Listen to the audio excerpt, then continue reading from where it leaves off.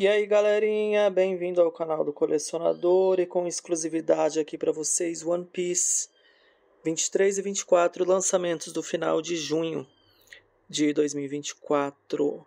Vamos dar uma olhadinha para ver como que tá essa edição 3 em 1. Em primeiro lugar, chama atenção a a semelhança dos verdes usado tanto na versão 23 quanto na 24, são verdes muito parecidos. Só esse daqui que é um pouquinho mais escuro, né? Um pouco mais exército. Mas são capas muito bonitas.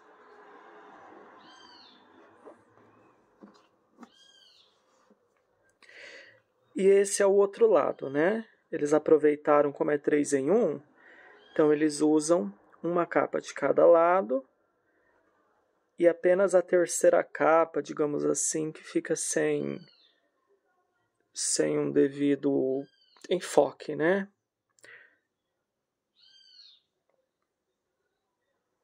Também a capa tá muito bonita.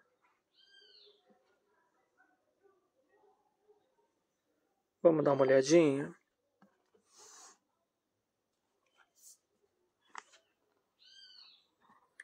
O pessoal tá reclamando de transparência, mas olha aqui, eu não vejo tanta transparência assim. Tem um pouquinho, mas nada que a gente diga, nossa, tá de péssima qualidade, tá? Tem sim uma transparência, mas é muito pouca. Ó, aqui eu tô com uma luz boa.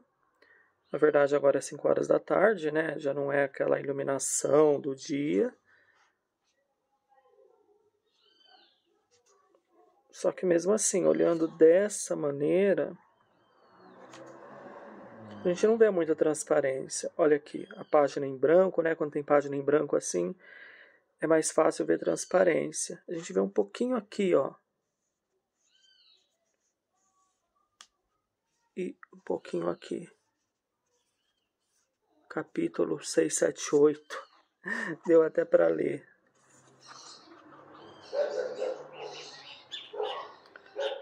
Seis sete nove na verdade, mas é muito pouco.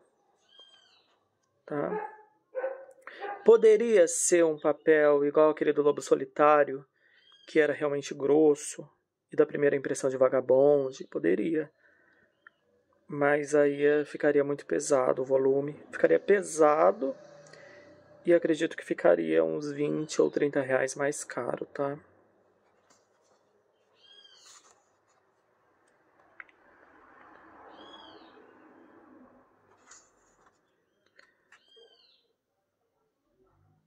Mas olha aqui, galera.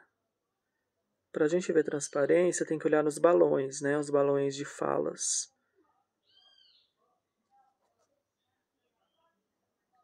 Tem, mas é muito pouquinho. E eu ainda assim acho esse offset melhor do que aquele papel que foi publicado a, a versão tanco, né? A versão individual. Eu ainda acho que esse daqui dura mais. E amarela menos com o tempo, tá? Eu já vi livros com papel offset da década de 30, numa biblioteca. 1920, 1930, e tá lá inteiro. Tá amarelo, mas tá inteiro.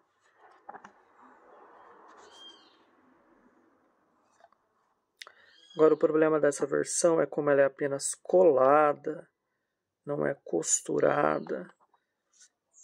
Aí eu já não sei se dura para sempre por causa disso, tá? Por causa da, da colagem apenas, né?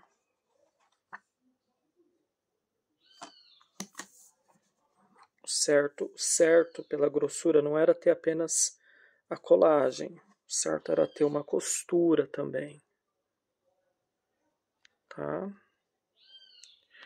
Vamos dar uma olhadinha aqui no 24. Então, assim, esses livros que a gente vê do começo do século passado, nas bibliotecas, eu acredito que eles são costurados. Mas a costura depende de muitas coisas, né? O fato da costura durar depende principalmente de quantas vezes vai ser manuseado, quantas vezes vai ser lido, qual é o cuidado que, que vão ler, né?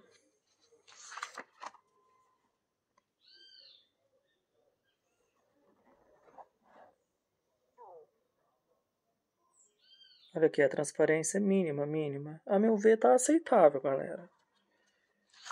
Realmente poderia ter sido costurado, mas é aquilo, a editora sempre deixa para fazer uma edição melhor no futuro.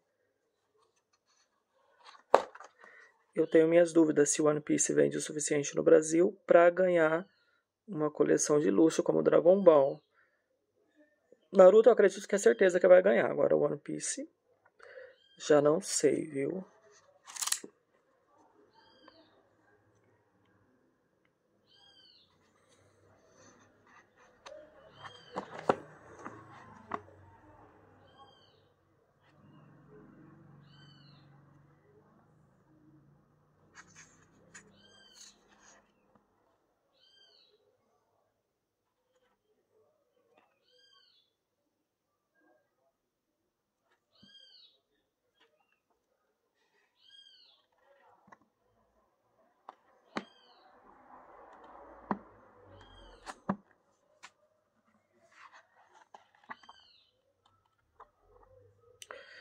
Se as páginas não se soltarem, está mais do que aceitável. O preto está bem preto, ó.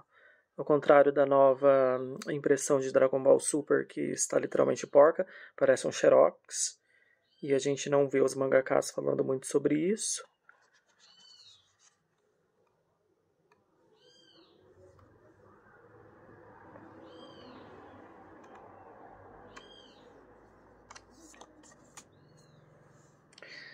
Então tá aí um pouquinho para vocês de One Piece 23 e 24.